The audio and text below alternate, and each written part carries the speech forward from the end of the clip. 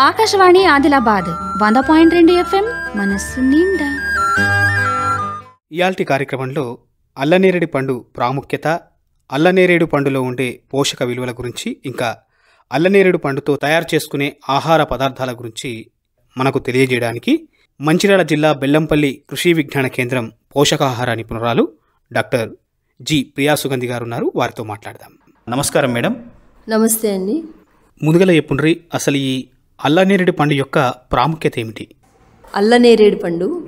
అల్లనేరేడు పండు అనేది మన గ్రామీణ ప్రాంతాల్లో ముఖ్యంగా చూస్తూ ఉంటాము. ప్రతి ఇంట్లో పెరటి తోటల్లో కానీ వాళ్ళ పెరట్లోనే ఉంటుంది ఒకటైనా ఉంటుంది. కాకపోతే గింజలన్నీ అట్లాగా పడేసి ఉండడం మనం చూస్తూనే ఉంటాం. అయితే ఈ అల్లనేరేడు పండు అనేది చాలా ముఖ్యమైనది మన ఆహారంలో కనుక తీసుకుంటే ఆరోగ్యపరంగా చాలా బెనిఫిట్స్ ఉన్నాయి. చాలా ప్రయోజనాలు ఉన్నాయి అయితే దీన్ని భారతదేశ బ్లాక్బెర్రీ అంటారు. బ్లాక్బెర్రీ అని అంటే మనకి అవుట్ సైడ్ వెస్టర్న్ కంట్రీస్లో ఫారెన్ కంట్రీస్లో బ్లాక్బెర్రీ అనే దాన్ని చూస్తే కనుక దాంట్లో ఎక్కువగా ఇన్ఫ్లమేషన్ని లేదా ఇన్ఫెక్షన్స్ని తగ్గించే లక్షణాలు కలిగి ఉన్న ఫ్రూట్ మాట. అది మనకు దొరకదు ఇక్కడ. తక్కువగా దొరుకుతుంది. డ్రై ఫ్రూట్స్లో దొరకవచ్చు కానీ అదే బ్లాక్ బెర్రీకి ఉన్న ప్రాముఖ్యత ఈ ఇండియన్ బెర్రీకి ఉన్నది. జామున్ అని కూడా అంటారు హిందీలో. అయితే నేరేడు పండు అని అంటారు తెలుగులో. ఈ నేరేడు పండునే మన భారతదేశంలో బ్లాక్ బెర్రీ అని అంటారు. సో మన ఇండియన్ బ్లాక్ బెర్రీ అనేది ఈ- ఈ జాము అనమాట ఇవి రెండు రకాలు ఉన్నాయండి తెలిసినంత వరకు. అయితే తెల్లని రకం ఒకటి అంటే దాంట్లో నల్లగా కనిపిస్తూ ఉంటాయి. పైన ఆ పొర తీసినప్పుడు లోపల తెల్లగా ఉండే ఫ్లెష్ తెల్లగా ఉండే గుజ్జు ఉంటుంది. సో అది ఒక తెల్లని రకము. రెండవ రకం వచ్చేసి పింక్ అంటే గులాబీ రంగులో ఉంటుంది ఆ కండ. కండ అనేది గులాబీ రంగులో ఉండడం వల్ల ఎక్కువగా పోషకాలు ఉంటాయి. అంటే యాంటీ ఆక్సిడెంట్స్ అనే పదార్థాలు ఎక్కువగా ఉంటాయి అన్నమాట సో ఈ రెండు రకాల్లో మనం ఏది తీసుకున్నా మంచిదే. మనకి అవైలబుల్ ఉన్నది తప్పకుండా తీసుకోవచ్చు. ఈ రంగు ఉన్న పండు తీసుకున్నప్పుడు ఇంకా ఎక్కువగా మనకి బెనిఫిట్స్ వస్తాయి. ప్రకృతి పరంగా వచ్చే రంగులు మనకి చాలా మేలు చేస్తాయి. అందుకనే మనకి ఈవెన్ మనం రోజు తినే ప్లేట్లలో కూడా ఎక్కువ రంగులు ఉండే ఆహార పదార్థాలు తినమని చెప్తూ ఉంటాము.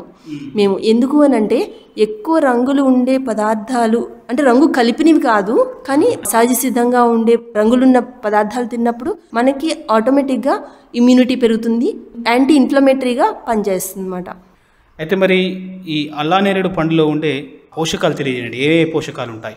పోషకాలకి వచ్చేసరికి పోషక విలువలు చాలా అధికంగా ఉన్నాయి.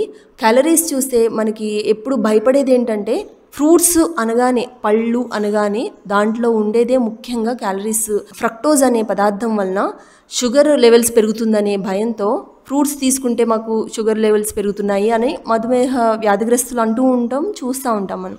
అయితే ఈ పండులో క్యాలరీలు చాలా తక్కువగా ఉంటాయి. వంద గ్రాములు పళ్ళు తీసుకుంటే కనుక యాభై రెండు కిలో క్యాలరీల నుండి అరవై కిలో క్యాలరీస్ వరకు ఉంటుంది. సో చాలా తక్కువ. ఎక్కువ తీసుకున్నా పర్లేదు కాకపోతే కొంచెం ఎక్కువ తీసుకోలేం మనం. క్యాలరీలు అనేది చూస్తే చాలా తక్కువ ఉన్నది. అరవై కిలో క్యాలరీలు మాత్రమే. ఇంకా విటమిన్ సి అనేది ఎక్కువగా ఉంటుంది. కొంచెం వగరు అలాగే పులుపు ఉండడం వల్ల విటమిన్ సి మంచిగా మనకి పద్నాలుగు మిల్లీగ్రామ్స్ వరకు ఉంటుంది ఒక వంద గ్రాముల పళ్ళలో. అయితే అది ఫ్రెష్గా మనకి దొరుకుతుంది అన్నమాట ఇక్కడ వేడి చేయడం అలాంటివి ఉండవు. మనం డైరెక్ట్గా తింటాము కనుక ఫ్రూట్స్. వాటి వలన విటమిన్ సి అనేది ఆవిరి కాకుండా చక్కగా మనకి అందుతుంది.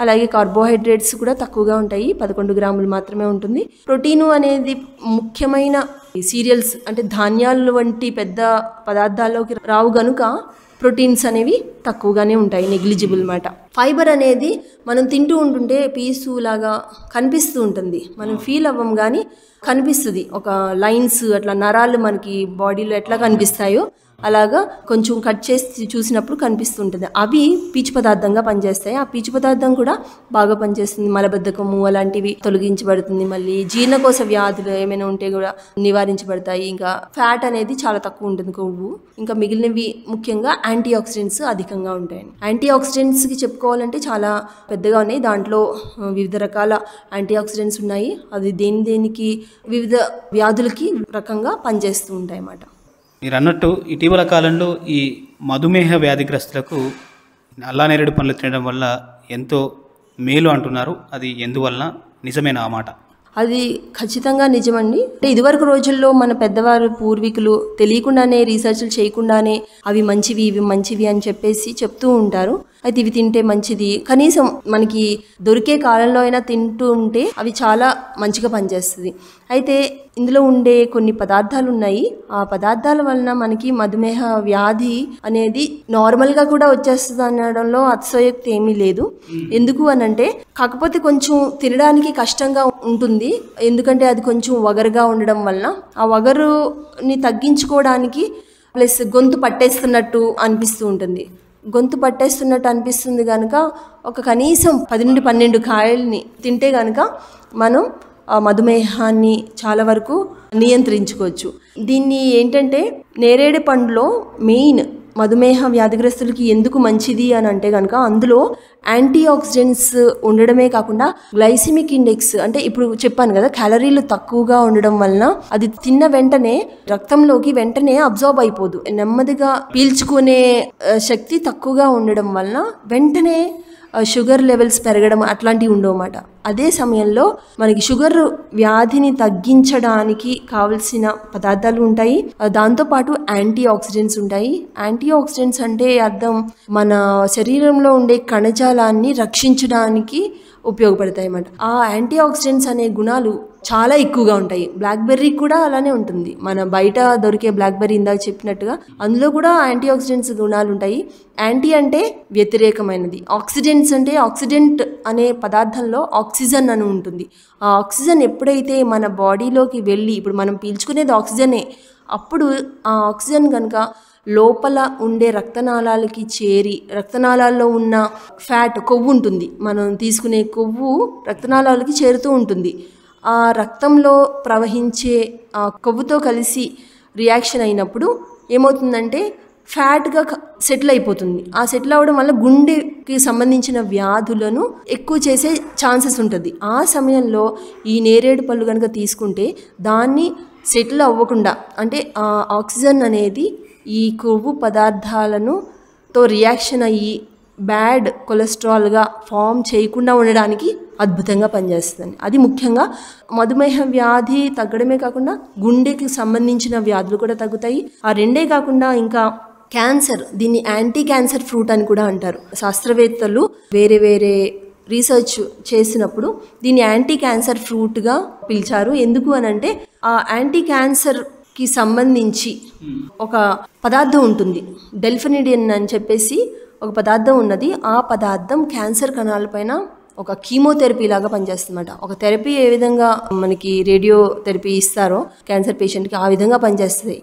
ఇది కంపల్సరీ తీసుకోవడం వలన క్యాన్సర్ కూడా చాలా వరకు ఆ కణాలు తగ్గిపోయి నార్మల్గా అయ్యే ఛాన్సెస్ చాలా మందిలో కనిపించింది. అలాగే ఈ మధుమేహ వ్యాధికి సంబంధించింది చూస్తే గనక మధుమేహం వల్ల వచ్చే అతిమూతర వ్యాధి మూత్రం ఎక్కువగా వస్తుంటుంది వాళ్ళకి. అలానే ఇంకా దాహం ఎక్కువ వేస్తూ ఉంటుంది. ఈ రెండు కూడా చాలా వరకు తగ్గుతాయండి. మామూలుగా అయిపోయే ఛాన్సెస్ కూడా ఉంటుంది. వీటి వల్ల ఇన్ఫెక్షన్స్ రాకుండా కాపాడుతుంది అన్నమాట ఈ పండులో ఎన్నో ప్రయోజనాలు ఉన్నాయి ఎన్నో రోగాల్ని నయం చేసే గుణం ఉంది. మరి కొంతమంది చూసినట్లయితే ఈ అల్లానేరేడు పండును తినడానికి సాధారణంగా ఇష్టపడరు. ఎందుకంటే ఇది ఓగరుగా రావడం లేక గొంతులో మీరు అన్నట్టు పట్టేసినట్టు ఉండడం ఇట్లా ఉంటుంది కదా. మరి ఈ అల్లానేరేడు పండుతో ఇంకేమన్నా పదార్థాలు తయారు చేసుకొని తినవచ్చా? మరి ఆ పదార్థాలని మనం ఎట్లా తయారు చేసుకోవాలి? ఆ వివరాలు చెప్పుండ్రి. అల్లనేరేడు పండులో మీరు అన్నట్టుగా కొంచెం కష్టమే తినడము. ఒక నాలుగైదు తిని కొంచెం గొంతు పట్టేసినట్టు అనిపిస్తూ ఉంటుంది. అయితే ఇందులో ముఖ్యంగా ఎందుకు అలా అనిపిస్తుంది అంటే పండులో వగరు ఉంటుంది. ఆ వగరు దేని వలన వస్తుందంటే గ్యాలిక్ యాసిడ్ అనే పదార్థం ఉండడం వలన వగరు వస్తుంది. ఈ విధంగా వగరు ఎక్కువగా ఉండడం వల్ల తినడం ఇష్టం ఉండదు. గొంతు పట్టేస్తాం వల్ల మొత్తానికి తినడం మానేస్తూ ఉంటారు. అయితే వారి కోసం స్పెషల్గా ఈవెన్ మధుమేహ వ్యాధిగ్రస్తులకు కూడా ఏ విధంగా తయారు చేసుకోవాలంటే కొంతమంది జ్యూసెస్గా చేస్తున్నారు. షుగర్ లేకుండా. అందులో పంచదార వేయకుండా జ్యూసెస్గా చేసుకోవచ్చు. అలాగే సలాడ్గా వాడుకోవచ్చు. సలాడ్స్ అంటే అందరికీ తెలిసినవే. క్యారెట్ టొమాటో టొమాటో ఇంకా కీర వీటితో పాటు ఇవి కూడా ఫ్రూట్స్ కట్ చేసి వేసుకొని తినడం వల్ల కూడా బాగానే ఉంటుంది. దాంట్లో కూడా షుగర్ మళ్ళీ ఎక్స్ట్రా అవ్వదు. అదే మధుమేహ వ్యాధిగ్రస్తులకి షుగర్ లేకుండా ఒక స్మూతీ లాగా తయారు చేసి ఇవ్వచ్చు.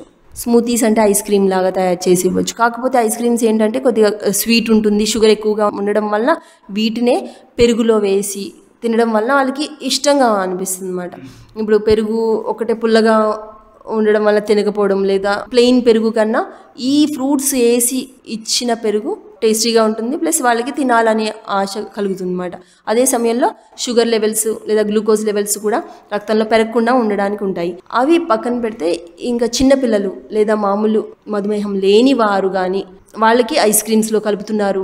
ఈ రోజుల్లో మార్కెట్స్లో అవైలబుల్గా ఉన్నాయి. ఐస్ క్రీమ్స్లోను ఇంకా యోగర్ట్స్ అని చెప్పేసి వస్తున్నాయి. పెరుగు దాంట్లో కూడా కలిపి ఇస్తున్నారు.